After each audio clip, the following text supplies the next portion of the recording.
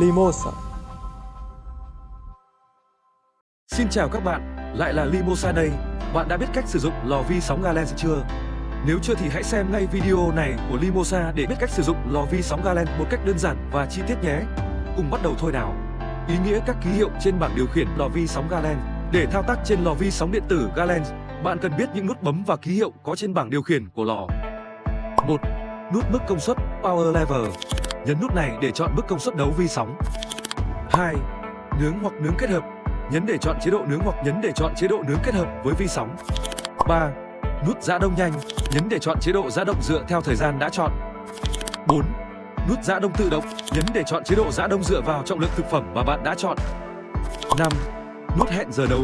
Nhấn để chọn các chức năng có sẵn trong thời gian nấu sắp tới. 6. Nút trọng lượng đồng hồ. Nhấn để chỉnh giờ hoặc xác định trọng lượng thực phẩm hoặc khẩu phần. 7. Nút tạm dừng hủy. Nhấn để hủy các lựa chọn hoặc về cài đặt ban đầu. Nhấn một lần để tạm dừng nấu, nhấn hai lần để hủy nấu toàn bộ. 8. Núm xoay thực đơn thời gian, xoay núm để lựa chọn thời gian nấu hoặc chương trình nấu tự động. 9. Nút khởi động khởi động nhanh, nhấn một lần để bắt đầu chương trình nấu, nhấn vài lần để chọn thời gian nấu ở mức công suất cao nhất. Cách sử dụng các chức năng trên lò vi sóng Galen. 1. Chỉnh giờ đồng hồ. Đồng hồ có để chế độ 12 hoặc 24 giờ. Để xem trong thời gian khi sử dụng lò nhấn nút trọng lượng đồng hồ giờ sẽ hiển thị một lúc lên bảng điện tử. Ví dụ bạn muốn chỉnh giờ của lò thành 8 giờ 30 phút. Bước 1, nhấn nút trọng lượng đồng hồ một hoặc hai lần để chọn chế độ 12 giờ hoặc 24 giờ. Bước 2, xoay núm thực đơn thời gian để chọn số giờ hiển thị. Bước 3, nhấn nút trọng lượng đồng hồ một lần nữa để xác nhận giờ. Bước 4, xoay núm thực đơn thời gian để chọn số phút hiển thị. Bước 5, nhấn nút trọng lượng đồng hồ một lần nữa để xác nhận và hoàn tất. 2. Khởi động nhanh. Lò sẽ nấu nhanh ở chế độ công suất cao, 100% công suất. Nhấn nút khởi động khởi động nhanh và lần để chọn thời gian nấu phù hợp, lò sẽ hoạt động hết công suất. Thời gian nấu tối đa có thể lựa chọn được là 10 phút. 3. Nấu vi sóng. Thời gian nấu tối đa là 95 phút để chọn nấu vi sóng.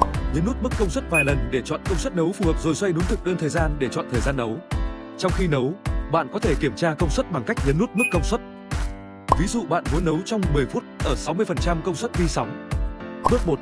Nhấn nút mức công suất 3 lần để chọn mức 60%. Số lần nhấn mức công suất, một lần 100%, hai lần 80%, 3 lần 60%, 4 lần 40%, 5 lần 20%, 6 lần 0%. Bước 2. Xoay đúng thực đơn thời gian để chọn 10 phút. Bước 3. Nhấn nút khởi động khởi động nhanh để bắt đầu nấu. 4. Nướng. Lò sẽ nướng thức ăn dựa trên số phút mà bạn lựa chọn. Số phút tối đa mà bạn có thể lựa chọn là 95 phút. Bước 1. Nhấn nút nướng hoặc nướng kết hợp một lần. Bước 2. Xoay núm thực đơn thời gian để chọn số phút. Bước 3. Nhấn nút khởi động khởi động nhanh để bắt đầu nấu. 5. Nướng hoặc nướng kết hợp. Số phút tối đa cho chế độ này là 95 phút. Chế độ này cho phép bạn kết hợp nấu vi sóng và nướng trong hai lựa chọn. Lựa chọn 1. 30% số phút là nấu vi sóng, 70% là số phút để nướng. Phù hợp cho món cá và khoai tây. Ví dụ bạn muốn lựa chọn một và nấu trong 25 phút. Bước 1. Nhấn nút nướng hoặc nướng kết hợp hai lần. Bước 2. Xoay núm thực đơn thời gian để chọn số phút. Bước 3. Nhấn nút khởi động khởi động nhanh một lần.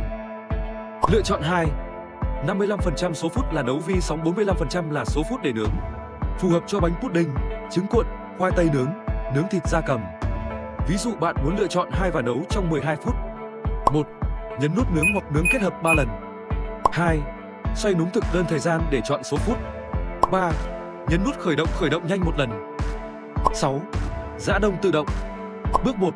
Ở chế độ chờ, nhấn nút giã đông tự động một lần. Bước 2. Nhấn nút trọng lượng đồng hồ để chọn trọng lượng thực phẩm cần giã đông. Bước 3. Nhấn nút khởi động khởi động nhanh. Lưu ý, thực phẩm đông lạnh được nặng trong khoảng 100g đến 1.800g. Trong khi giã đông, lò sẽ phát ra tiếng bíp ở mức 2 phần 3 thời gian để nhắc bạn đảo lại thực phẩm, rồi nhấn nút khởi động khởi động nhanh để tiếp tục giã đông. 7. Giã đông nhanh. Ở chức năng này, bạn phải nhập số phút muốn giã đông. Thời gian giã đông tối đa là 95 phút. Bước 1. Ở chế độ chờ, nhấn nút giã đông nhanh một lần. Bước 2. Nhấn nút trọng lượng đồng hồ để tăng số phút cần giã đông. Bước 3. Nhấn nút khởi động khởi động nhanh.